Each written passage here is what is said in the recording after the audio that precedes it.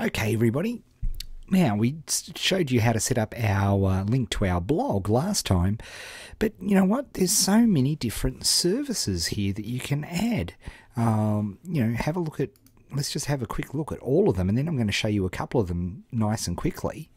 You know, let's have a look. Click and add this service. Look, you've got the option of adding all of these different services. And the interesting thing about adding all of these different services is not only do they extend your publishing network, they also give you a backlink from the profiles. And I'm just going to show you a couple of examples uh, right now so you can see how you can really, really build out a network. And as I say, we're going to do that this week, and then next week we're going to next module, I should say, we're going to really, really amplify it again. So let me show you good old Twitter. Now here's my um, Twitter feed, and as you can see, look at that.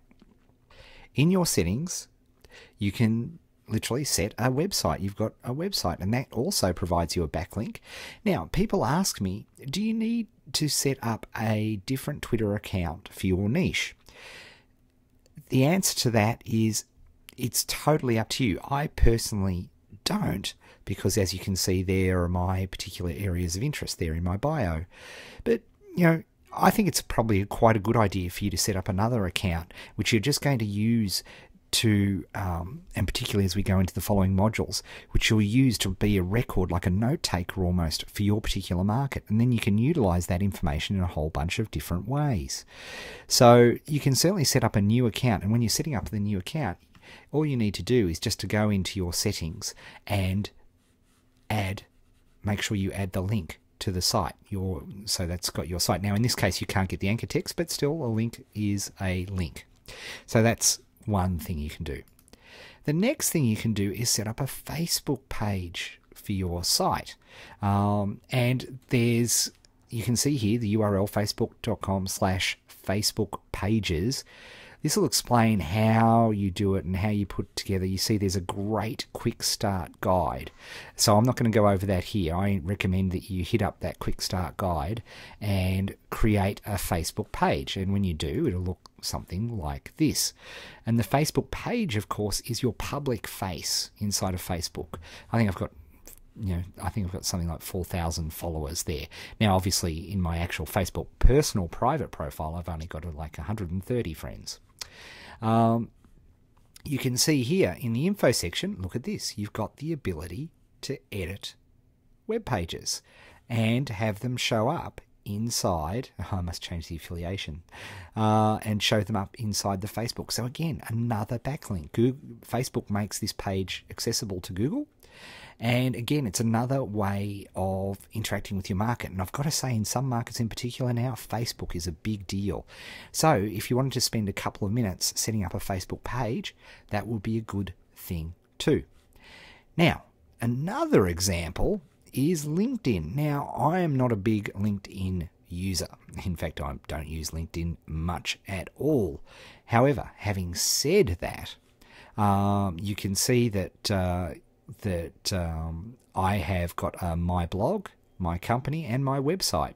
And of course, these are links back to uh, my main key sites. And so you can create a LinkedIn profile and add in the websites. And that, of course, again, gives you another link.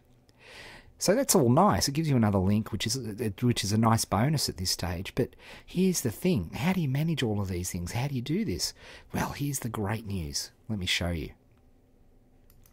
when we go to manage uh, my account, all we have to do now is click add a service. And for example, I might put in LinkedIn. So update your LinkedIn status whenever you post to your Posterous blog. That sounds like a great idea. So I'm going to hit link.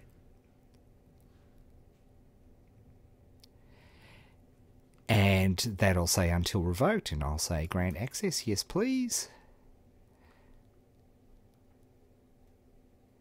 Done. Successfully added to my account. Super duper. And so you'll see as it updates, there we are. The LinkedIn is added to our account. Now, of course, we can click on add a service, and I think you know where this is going. I can literally click on Twitter. Do I want to link to my Twitter account? You betcha. And look, if you've already been logged into these services, you won't even get a you won't even have to put in your username and password. You can just literally add them in. So I've linked that to my Twitter account. Fantastic. It'll go and refresh. It's pretty easy, isn't it, folks? And then finally, what other one did we mention there? The Facebook page. So we, funnily enough, go to Facebook page. We hit connect.